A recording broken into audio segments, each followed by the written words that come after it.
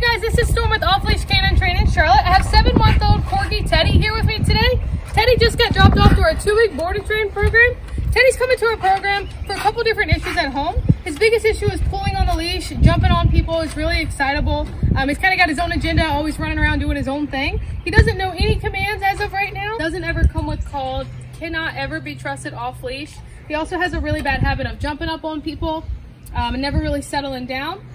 And as of right now, he doesn't know any commands at all. So I'll go ahead and show you guys what Teddy looks like today.